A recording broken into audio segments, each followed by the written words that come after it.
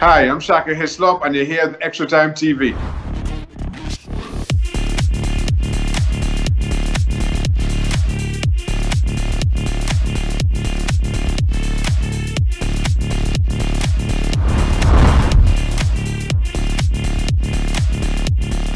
So, ladies and gentlemen, we're here with Terry Fenwick, the Trinidad and Tobago national team's head coach. How are you today, Terry? Very good, thank you very much. All right. So we know you just came from a game against uh, Tobago. Yeah. It was a victory. Yes. Uh, you know. So how are the preparations going so far? Well, it's you know you, you'll know yourself, Andre. It's been very difficult to get games at all. Mm. Um, we've put multiple um, schedules in that have included international games that haven't been uh, haven't come forward. The normalisation committee have struggled to to get anything nailed down. So it's been very difficult for us. But games like this, we we played all the six regions now in Trinidad, Mm-hmm. including Tobago, who thanks very much they came from Tobago Mm-hmm. um, into Trinidad to play against us today. And we saw some good talent on the ground. Mhm. But uh, obviously leading into a World Cup qualifier on the 25th, um, I would like a bit better um, competition than, than we are today. Mm-hmm. You know, so it's no secret, obviously, this COVID nineteen pandemic has affected sport globally. Absolutely. It's messed up everything for everyone, Yeah. particularly us in Trinidad and Tobago. Yeah. So, in terms of uh, you know what you wanted initially, Yeah. when you first became the coach, I'm pretty sure you had some plans. Well, you, you see what we've done, Andre, Yeah. over the over that period of time, 2020, and into the early uh, months of this year, We've submitted multiple schedules, mm -hmm. and them schedules have included games against international teams that have confirmed that yes, they will play, mm -hmm. and it just hasn't happened. Yeah. So that's been difficult for us, and not just me as a coach, but that's my players as well. Mm -hmm. Recognising that most of my international players that are coming in from overseas, I'll only get them for days before the the, the World Cup qualifier. Yeah. So trying to get a better standard of football.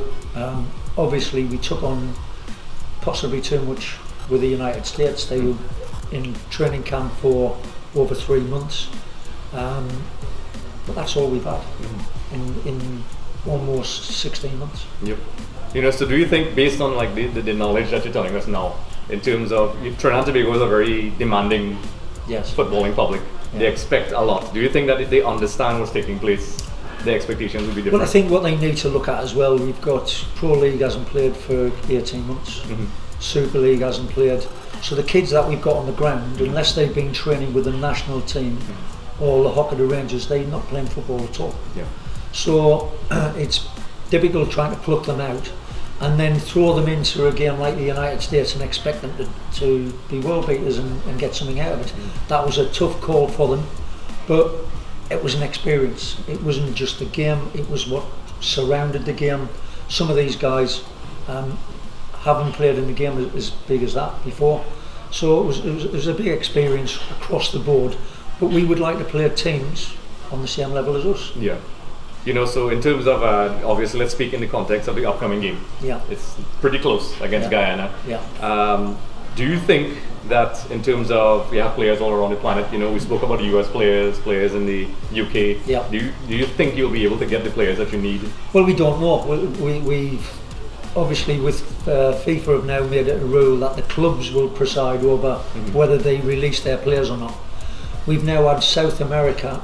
They they've now postponed their World Cup qualifiers because of the same thing. They can't get their players from Europe back into South America. Mm-hmm. So I don't know what will happen with CONCACAF because I'm sure we will we will come across the same issues mm-hmm. ourselves.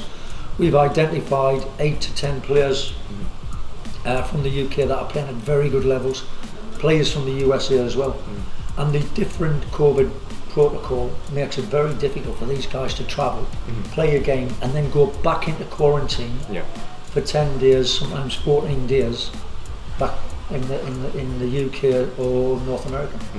You know, and that's in the context of today, we saw that it was a team building exercise, Yeah. obviously. Um, you know, it seems that, you know, uh, Gary Griffith is also highly supportive Very. of what's taking place. Absolutely. You know, so how important has he, he been in the Well, he's been brilliant. I mean, when you recognise that we've trained the whole of 2020 um, here at the barracks, he's provided water, food, transportation. He's done great things. He's opened up to some of our younger players to give them jobs, Yeah. so they've got an income. You know, most of the players, if not all, they haven't had a dollar Yeah. in all this period of time. And very difficult for them. COVID virus, not being able to play against other sides. So we've asked the different regions. So we've now played all six regions um, in Trinidad and Tobago. That's gone very well, but we've got to step it up a bit. Yeah. And in terms of you know the team spirit, you know, it's a very challenging time. Yeah. Uh, how was the team spirit in the camp with all the guys? the team spirit's great. I mean, we had um, some terrible press the other day. Yeah. And what I would like to reflect on is four and a half years ago, under the David John Williams administration, they had the same problems and issues apparently with Stephen Hart. Now, with all due respect, Stephen brought a bit of pride to our football. He'd done some good things, and um, and that was a bit unfair on him. He was fired shortly after that, but I think it's the same sort of rubbish in the background that Yeah. we- we've been used to for so long. Yeah, because I, I, I saw we saw everybody. It's, it's public news what took place now. Yeah. And now it's we, I can see with my own eyes that's Yeah. not the case. Yeah. You know, they, they, everybody seems unified. All the players seem happy. Correct. You can see outside. You know, there's a combined spirit. Yeah, he took one on the chin, but it was Yeah. a great experience for some of the younger guys when we came back on the ground in Trinidad. Mm-hmm. That experience brought them out of themselves. You know, we were all disappointed with the result and the scoreline, but it galvanised us, Yeah. it brought us together. And I'm quite confident with the guys that we've got Mm-hmm. that they're going to do good things. The squad of players that we've got, six of them now have been offered contracts overseas. Mhm. So they, you know, we're obviously doing something good. Um, but Trinidad football, Andre's got to put its socks up. It's got to get itself together. No pro league, no super league. The tangles and issues and problems that we've got behind the scenes is not helping the players. Yep. You know, it's, it's, it's very evident that there's a lot of uh, negativity. Yeah. So just to be very specific, you know, in sports, criticism is a normal thing. Yeah. But it seems that there's a, an unusually high amount Yeah. in the context of the national team right now. Yes. Um, you know, how are you on the team handling that sort of thing? Well, we, you know, we speak every day we train, Mm-hmm. so we talk through that. You know, I've said this on many occasions over the last 18 months. A lot of it is the mental side of the game, Mm-hmm. mental toughness. We've got to get into these guys so they can shake these things off that are in the background and concentrate on the things that will bring us success.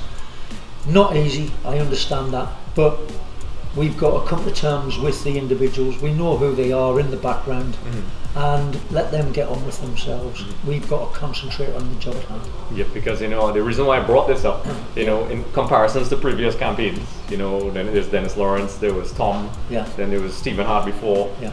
Obviously, the, the, the comparisons can't be the same. No. You are playing during a global pandemic. Yes. There is no football, as you rightfully said. Yeah. A lot of these guys haven't played in a long time, and you this that was your first international match. Yes. And so you know, I think the, the criteria based to judge you can't possibly be the same. Well, Andre, I took the game inside of a week. Yeah. We flew out, we were in a bubble, we played the game, spent two weeks quarantining afterwards. I'd still do it all over again because that is the only game that we played. Mm-hmm. And it was a big experience for everybody.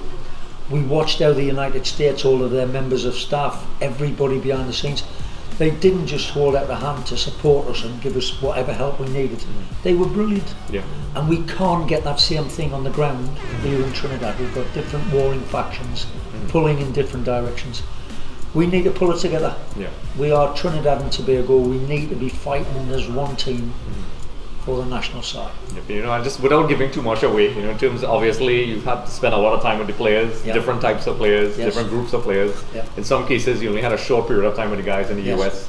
Um, now that we're approaching the actual game, Yeah. you know, with, with all the difficult uh, scenarios considered, is uh, without giving too much away, technically, of course. Yeah. I, uh, how is your, you know, do you have your team sort of sorted in your mind, or? Well, again, in my mind, on paper, we've got some terrific players. We've got a great side. Mm-hmm. Can they travel? Will they get in with the exemptions? Can we get them through without the COVID mm-hmm. restrictions? Many of the clubs in the UK are still playing their league programs. Mm-hmm. I think it's very doubtful that we'll get them players back. I think Guyana might have similar issues themselves. Multiple of their players are, are playing in different leagues in the UK. It's a real di- difficult call, Andre. Yeah. You know, we're in a pandemic year where everything is shutting down. Mm-hmm. And yet, all over the world, we're watching other teams playing, mm-hmm. whether it be international games, whether it be league format, Premier League, Super League, whatever. You've got MLS starting shortly in the US. We've got nothing here. Yeah. We've, we've got some of the other islands up the region, they're, they're playing games, Yeah. they're in leagues. So we need to, to get that right.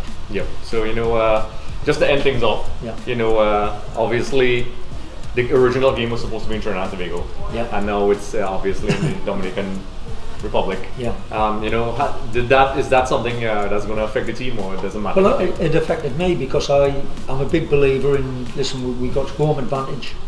Uh, if we'd been able, uh, allowed to have two or three, five thousand people like we, have in the United States, it makes a difference. And it's a field that's right at home. Everybody's used to it. We can do our own stuff there. I didn't want to give that up at all. yeah. I know Guyana wouldn't have done that. We'd have been playing in Guyana. So, and that goes across the board. You go to all the top nations in the world today, the Brazils, the Germanys, Spain, the uh, England side. If they get a home game, it's damn right it's going to be at home. Yeah, yeah. So you know, you know, just to end things off, uh, is there anything you'd like to say to the fans and the, the people out there? I need you to keep the faith. Listen, help our youngsters, bring them through. We're, we're trying to do our bit. We're reaching out to communities. We played all six regions now. We're waiting for these guys coming in. When they do come in, please get right behind your team, get behind your nation, and let's be successful. All right, Terry. So once again, it's always a pleasure, and good luck in the upcoming games. Thanks, Andrew. All right, Terry. Come. Yes. Just a reminder, everyone, for more episodes with Shaka Hislop, be sure to head over to our YouTube channel. Also, don't forget to subscribe for more updates, interviews, and content.